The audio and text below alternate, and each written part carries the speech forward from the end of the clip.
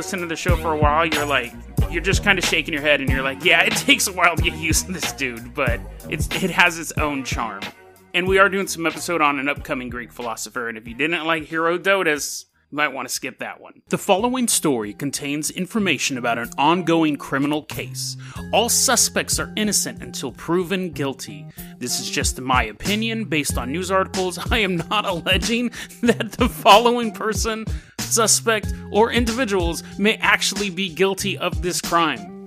This is just an comedy podcast where I'm talking about someone currently facing criminal charges. I have no proof, one way or the other, that this person is innocent or guilty. Again, all suspects in you, the, all suspects in the United States are innocent until proven guilty enjoy. Okay, let's go ahead and get started with our first story here. Now, this first story is something that I read in the news uh, probably about a month or two ago, and I was like, oh, I gotta cover this because it's so ridiculous. And then I completely forgot about it because the amount of ridiculous stuff that I deal with things kind of fall to the wayside. But over the weekend, when I was prepping all my episodes for the week, I said, "Oh, I need to find that story again," because I I thought about it here and there. So this is the story. And so speaking of mispronouncing people's names. I have no idea how to say this dude's name.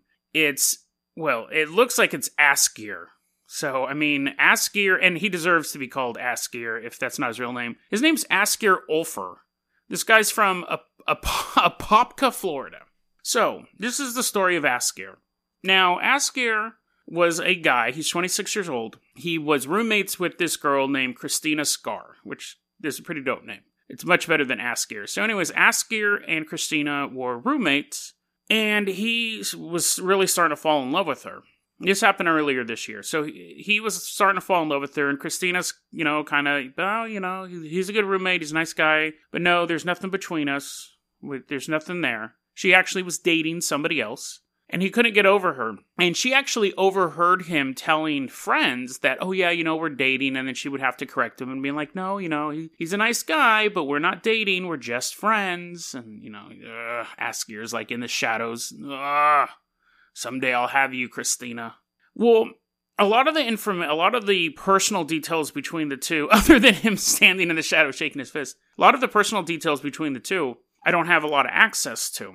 But for whatever reason, he moved out. Now, I can assume what the reason is, is because he was a total weirdo who was telling everyone he was dating his roommate and he was getting creepy. I don't think he moved out because he found a better deal across town. I would assume that it's just because he's a creepy guy. However, I have no proof of that. Just general world knowledge and existing on the planet for 42 years. That's my opinion. That's the reason he moved out. And the reason why I think that is because what follows. So he hatches a plan that really is something that you would see in a cartoon or a comic book. This is his this is what his plan is going to be. He's going to I'm laughing because I know what's coming and it's also tragic, but the details are funny. So, Askir his goal, he goes, "Okay, I have a master plan. I'm going to wait till she's alone and I'm going to wear a disguise. I'm going to wear all black with a hoodie on and I'm going to break into her house and I'm going to attack her and tie her up and like rough her up, right? Give her the good old one two. Probably he imagined it in his head that he comes out of the darkness and he commands her to, you know, like get down and she does because she's just in total fear of him and that the power would get him off as well. And then once he had her restrained, he was going to then leave the house and then come back as Askir, no costume, and go, "Oh my God, Christina, you're you're tied up. What's going on? Help me, Askir, help me!" Like Olive Oyl, and then he was going to untie her and then she was going to fall in love with her hero who saved the day, leave her boyfriend, be with Askir. So that was his plan. Now, there's a couple problems with that plan. The the biggest one being that if your plan goes 100%, if your plan has no problems with it whatsoever, and it actually works, which it wouldn't, but let's say that it goes off without a hitch, and you run and you save her, and she doesn't realize that an Askir sized human was just holding her down five minutes ago, and smelt like Askir and grunted like Askir and had all the mannerisms that an Askir had, but in but in a ski mask. Assuming she's a total idiot and she doesn't pick up on any of that, And then the, an Askir shaped person who is actually Askir runs into the room and goes, Well, I just passed a guy shaped exactly like me on the way out. What happened? And she falls in love with him. He's going. He's that's a, that's a supervillain's plan. That, that I've never read a comic book or a cartoon or a movie where the good guy comes up with that plan. Superman's not like, you know, the way that we can defeat Lex Luthor is I'm going to break into Wonder Woman's house. Like, that's never. No, that's not a good guy's plan. But even if it went off without a hitch, he's going to spend the rest of his life knowing that he committed this horrible crime and put his loved one into a state of fear, and it worked, but he'll have to live with that guilt. And I just thought of this. What is he going to resolve every fight like that in the future? Where she's like, "You need to stay home with the kid," and he's like, "But I have a video game tournament tonight." And she's like, "No, you need to stay home." And he like looks to the closet where he keeps a ski mask, and then he like breaks in. he's like, "Let him go to the video game tournament." And then Askir runs in. What did he say? So I mean, like, it just it doesn't work on its head. It just doesn't work. It's a stupid plan. So of course, it doesn't work on real life. So he breaks into the house because he wasn't living there anymore. And from the beginning, the plan is just goes sideways. He breaks into the house and he's like, okay, step one, I'm going to jump out and I'm going to grab Christina. And then he realizes that he got there like 10 hours too early. So he hides in her closet. She comes home with her boyfriend. They fall asleep. And he's just a big old creep dude in the closet, just standing there. Now, he got there way too early for the plan to work. So he's just stuck in the closet all night long. At a certain point, he ends up leaving the closet in the middle of the night and going, like, walking around the house a bit, getting some water, I can imagine him like watching television. But anyways, then he goes back in the closet. So in the morning, the boyfriend leaves, and now Christina Scarr is home alone. And Askir jumps out of the closet wearing all black, black ski mask, attacks her from behind.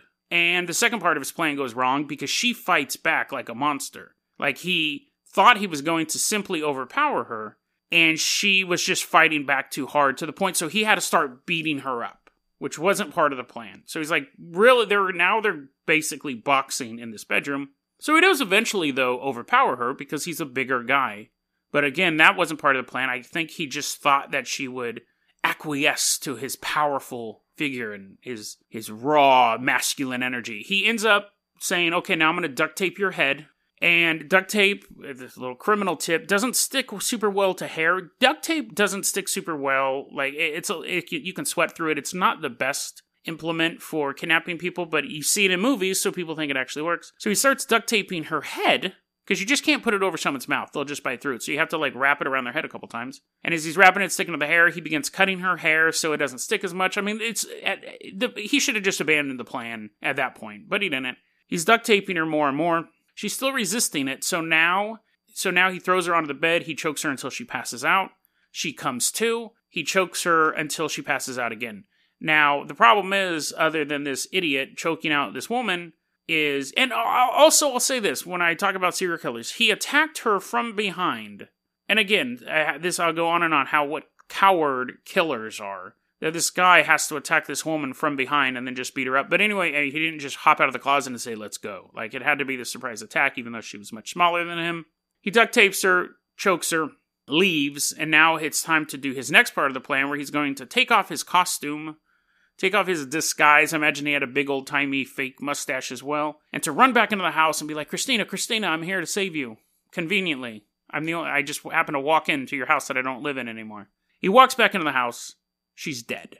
He basically pretty much restricted her airways with the duct tape so she couldn't breathe enough, and then being choked out twice was enough that she couldn't regain the oxygen that she was losing. So she died. Now he's stuck with the body of this woman that he reportedly loved.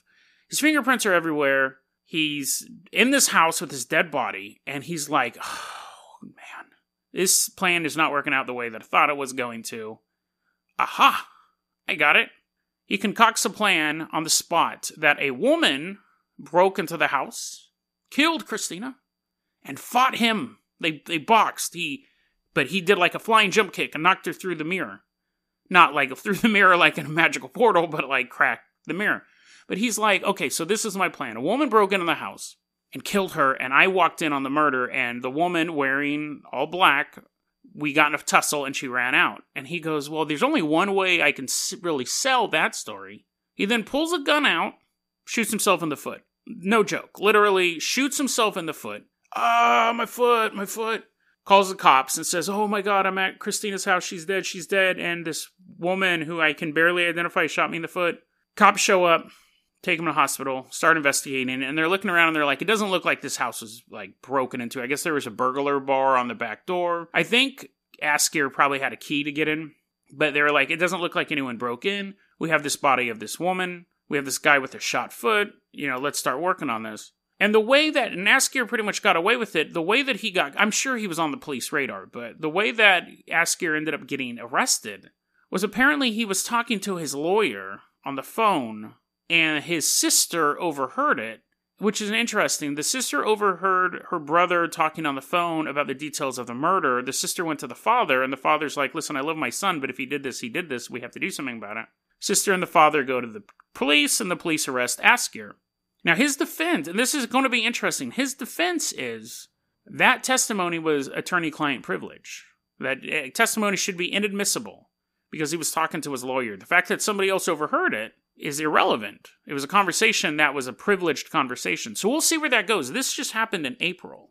So they'll be carrying on these motions for a while and things like that. But we'll see where it goes legally. But just from like a logical standpoint, this guy's an idiot. Like, even if his plan had worked, he was a villain. It never works, even in television shows where these plans are set up. They always fail. I've never seen this pro this plot work. What made this 26 year old guy think that this scare tactic was going to lead to a lifetime of love? Maybe he just wanted to have a one night stand with her. Who knows? Wait a second. You know what I just realized? Okay, so his motive for the crime was a cliche and so was the way he was he got caught. How many times in sitcoms do you see like two people having a conversation in one room and then you know Michelle Tanner walks by and overhears a conversation and then looks at the camera and goes dun dun dun and then the commercial break. He got caught in the most sitcom kind of way. Maybe he is the event horizon for how ridiculously pop culture society has become. All of our crimes from now are going to be based on cliches and stories, and they will also get caught by equally ridiculous cliches. That is the future of law enforcement in the world. That was a clip from our daily podcast, Dead Rabbit Radio. Dead Rabbit Radio is available anywhere that you listen to podcasts. It's daily paranormal, conspiracy, and true crime news. If you want to hear the full episode that this clip came from, check the link below. Please like and subscribe. And hit that little bell, too. That does some magical stuff. Thanks, guys.